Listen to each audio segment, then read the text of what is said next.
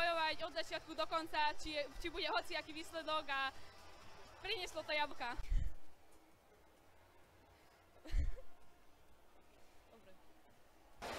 Asi áno.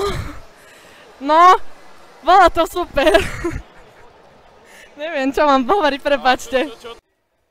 Tak eh, k tomu sa nebudem vyjadrovať, radšej. Určite, hej, ne, nevzdáme to a budeme bojovať ďalej až do konca. A tá výhra nás potešila. Cítim sa fantasticky. neprišla. My sme s Iskou boli tu na ihrisku. Takže neviem, čo hovoril tréner, ale motivoval nás pred zápasom a to nám veľmi pomohlo, myslím si.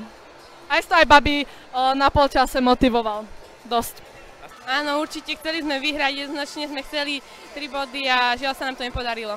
No, áno, na, musíme na tom ešte pracovať, ale bude to dobré.